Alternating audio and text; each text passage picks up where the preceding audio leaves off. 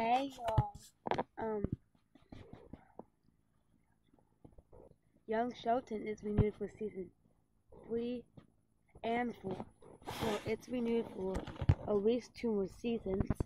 So if you guys are big fans of that. Hold on. There's two more seasons that are renewed.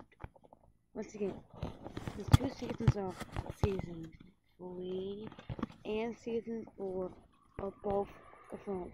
So if you guys are big fans about it, if you guys don't care about it, I sad to say it is confirmed that there will be two more years of the show. I don't know when season three will be out, and I don't know when season four will be out, and I'm not. So, yeah, and I don't know, guys, if my last video or not, but like, Young Sheldon is renewed for season five, no, three and four. If they come back and they change it, Young Sheldon is renewed for season three and four and five.